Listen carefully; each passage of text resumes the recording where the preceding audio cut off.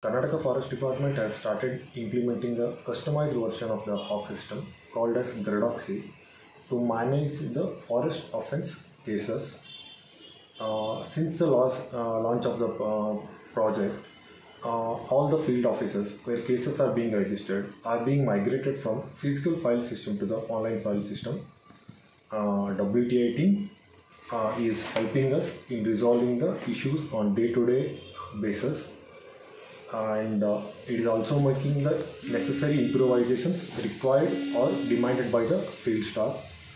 The Karnataka Forest Department will be greatly appreciate the uh, uh, NTT Data, which is a funding agency, which is helping, which is providing us a monetary help.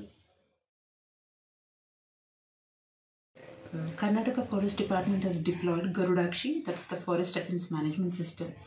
Uh, the uh, software which was initially developed for the Kerala Forest Department has been now taken up uh, and customized for Karnataka Forest Department. WTI has taken up the task of customization and NTT Data is sponsoring the uh, the project.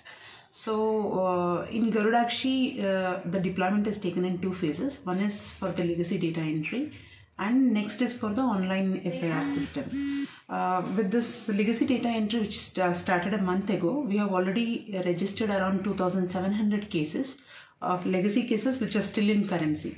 Uh, with this system, we envisage to have a system wherein you know what is the type of offense, uh, how many offense cases are pending at what level. All this data will be easily available.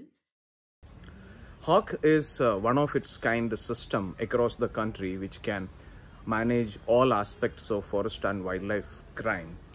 Um, the Karnataka version of Hawk is uh, developed, implemented with a generous support from NTT Data and Wildlife Trust of India is implementing it along with the Karnataka Forest Department. As you can see, the system is already helping the state forest department and in the coming years it will actually become the nerve center of the forest and wildlife crime management of the state